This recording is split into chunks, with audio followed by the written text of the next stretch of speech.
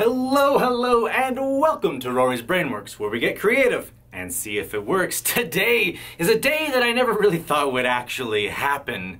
Many moons ago, I swore to myself on TikTok that I would never make a pentagram harness tutorial. But then I thought rather overdramatically. The people need me. I'll do it. But instead of doing a normal pentagram harness, I'm gonna Emeril Lagasse and BAM! Kick it up a notch. Some sweet late 90s, early 2000s references for you. Enjoy. That's the only thing going on up here. this pentagram harness is slightly more advanced, or intermediate if you will. It has a little pizzazz that brings out the devil in everyone, and demons are a girl's best friend.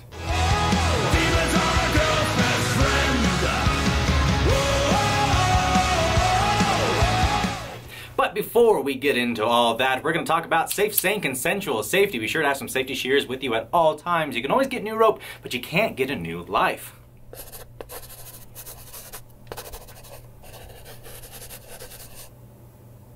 Even Marie agrees. And consensual. Marie and I are both consenting adults. Communication is key. Let us deep dive into this tutorial, but first we must thank my sponsor, Knothead Nylon. Knothead Nylon is the destination for all your premium nylon rope bondage needs. Easy to clean, water resistant, up to 1100 pounds of weight load, and in a wide array of beautiful, vibrant colors, Knothead Nylon will slake your rope desires. At checkout, put in discount code RORY10 for 10% off. So we have the hitch, the middle of our beautiful yellow rope here, and we're to go around just underneath the breasts once. We are going to do a girth hitch. Girth hitch is bread and butter for any rig, really. We use opposing forces to tighten, staying in constant communication with our model. Marie, how's that pressure? Fantastic. So we're going to go once around, just underneath the one we had just made. Now what we're going to do is go over this and under this. Why? Well, look at how they're sitting. This one is so much more pronounced, so much higher, and this one is lower. So what we're going to do is push this one down and add layer to that one.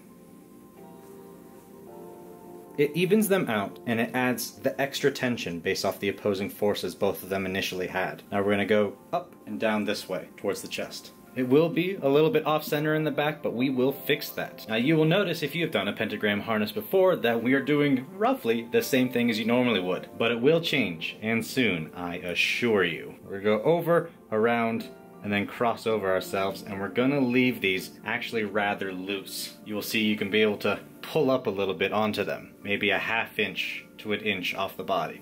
For good reason, you'll see in a minute. Once back around, we're gonna bring this back over, center it. We're gonna go underneath it. We're gonna go around and below ourselves. So we're gonna go underneath it, around it, and then underneath ourselves, causing this anchoring tension. It makes it so this direction, which is where I'm going to be going, very important. These type of twists that anchor and change the direction of your ropes are very important for creating designs. I wanted to go this way. How was I supposed to do that? Create an anchor by causing tension upon itself. Sometimes you have protagonist ropes and antagonist ropes. Protagonist wants to go one way and the antagonist holds it down so it can go that way. We are being our own protagonist and antagonist in this one. Just like muscles in the body, the rhomboids are the protagonist and the pecs are the antagonist. Where the rhomboids want to pull the back this way, the antagonist muscles will pull them back forward. So once we've gone this way, we're gonna go back around just underneath the armpit. And we're gonna come around, gonna grab the rope here and go around it. And then we're gonna pull down this way, which is why we had a little bit of extra tension. And you make sure those are pretty nice and tight because one of the things we're going to do is we're going to pull this way to create a star. We got to make sure that we're pretty good and tight in this spot. And we're going to pull it down very close to the armpit. Now once around, what are we going to do? Well, we're going to create just a small amount of tension. Since we went underneath, we're going to go over it. What has once gone under must go over, and then under again. So saith the Rory. No need to do any fancy tension this way. That'll be enough. This is just creating design. It doesn't need tension. So we're to do the same thing that we did on this side to this side. but we will be doing it in opposite. This will be our top and we'll be going towards our bottom. Seeing how we went from the bottom, underneath, around, and became the new top, we're doing the exact opposite on this side. So we are now the top rope, so we gotta go over, around, under. Over, crochet finger, that bad boy be a little symmetrical. Symmetry is important. Now these two are going to cause some of the major tension as well as what we do immediately afterwards. Stay in constant communication with your partner. Marie, how are we holding up? But bang! Awesome. We'll go back around and then we're going to tie this rope off and use a second one. So we're going to come back around, we're going to go over this one, and then kind of create a tension rose. Under, over, under, should tighten that up, over, under, over. We're gonna leave that loose for right now. It has enough tension to hold in place for the time being. And then we're gonna add a second rope. This can be done with only one rope if you're tiny. I imagine most of you aren't tiny. Who is? I'm not. It is okay to be different shape. So we're gonna let that hang and we're gonna add the second rope. Got the hitch of my other rope. Going to feed it through there and do another girth hitch. Sweet, sweet girthy hitches tighten that up, and we're just gonna go directly underneath this entire structure. It really makes things just much more simple. Once underneath, we're gonna follow this strand towards the front.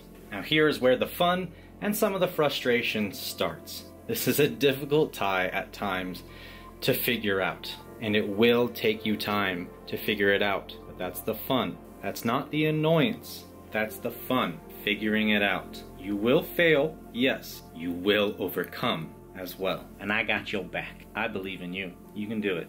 So we're gonna cross over and we're gonna come over here. We're gonna go over this and around. Why? Because we're gonna go down this way. Yet again, we're creating another one of these twists in the rope in order to choose which way I want to go. We're being our own protagonist and antagonist rope right here, shaping ourselves with these twists. Now what we want to do is have this one be the bridge that connects these two twists together. So we got to go backwards from what we did right here in order to stay aesthetically pleasing. Which means if we go backwards, we're going to go under, around, and over ourselves. So we're going to go under, around, and over ourselves. This bridge right here is going to stay in the front. I will cross over and do the exact same thing on the other, other side in opposite. First, I'm going to tighten this up. So we'll pull from the top and bring tension down this way. Pull from here, Stay in constant communication with your partner. Very important. Marie, how we holding on? Doing good? Awesome. We're crossing over this side. Do the opposite. We went over, around, and over. So we'll go over, around, and over. This will be our bridge, same as this one, and do the exact same thing. Opposite of what's going on right here, over here, and basically mimicking on the same side, aesthetically, what we did here, which is under, around, under. Undo, around, under. Same thing, we're gonna tighten this area up here, and this will go that way. And it is at this point in time you're gonna make a few small adjustments, staying in constant communication with your partner. Marie, I do believe we've got this design. How you feeling? You doing okay, girl? Radical. And at that point in time, you can see the goat-headed pentagram. I think some folk have called it the Stardust Pentagram Harness before. I like the Goat Head Pentagram Harness. It's so much more metal, metal, metal. Now you can just let this cross over like that, or you can add a small little hitch that adds maybe a small amount of extra security, especially if you have a model that's fearful of having something too close to the neck like this without some added benefit or security. So I'll show you that little hitch. We're gonna stay going over it, gonna go over ourselves, and then underneath again. Fix that up so it looks pleasing. That is the Munter hitch. Munter hitch. Now that we've got this beautiful thing going on, we're gonna go to the back and tie it off. So coming over this way, we're gonna go underneath this again. Who would have guessed? And essentially, the ropes here are creating a small platform of rope so this doesn't dig in in a weird way. Now, we have this short amount of rope and this long amount of rope. So I'm gonna take the long rope, I'm gonna go underneath, and I'm going to do a half hitch. Half hitch, you're so cool. Why a half hitch? Because I want it to go down because I'm gonna spread out and start doing things with it. Now with the shorter rope, what I'm gonna do is I'm gonna go underneath and then I'm just gonna start wrapping around. Wrap, wrap, wrap. Wrap, wrap, wrap, boo doo boo doo boo. Wrap that rope up, boo doo doo doo doo. Wrap that rope up. Pow, pow. Pull out a little bit, put ropes through self, bola bola, hitch it up. These ropes are essentially done, and it kind of gives us a handle to manhandle our partner, if need be. Tie it off with a square, or granny's knot, you know. Pretty sure that was a granny's knot. And I ain't no Boy Scout. I don't know nothing about knots. So now, you got this really big rope. What do you do with it? Well, that's the fun. That's your homework. I've given you and gone with you through this main assignment. This rope, whatever's left that you have, is your homework. Over the course of the tutorials I've been showing you, I've given you tools to use to create your own. Like I said, I wanted you to be an independent rigger with these tutorials. And if you are new here and this is your first tutorial, Hi, welcome. You came at an interesting time, but all that does is spur you to look at the other tutorials, the other videos that give tools to become independent. You don't want to copy someone else the rest of your life with these rigs. You want to make your own. So I'm going to create something with this. We're going to fast forward in time. Something fun, something simple, something pleasing. Here's what I ended up doing. Reminiscent of the chest weave harness, no? When you have a bunch of tools and you improvise, you can create something awesome. I can't wait to see what you create. Don't get frustrated. You're not going to get it your first time. I undid this once before. This is my second time doing it. I hit a snag. My original idea didn't go through. Then I had a different idea based off of that failure. That's how we grow. That's how we get better. I'll show you the back tooth. Once we separated, I just kind of continued going with it, crisscrossing over ourselves when we got to the back. Finished off with a double coin knot. Easy. Your turn. Wow, now wasn't that a wonderful tutorial? I hope you had as much fun learning as I did teaching you, and I seem to have lost Marie. Marie, what are you doing?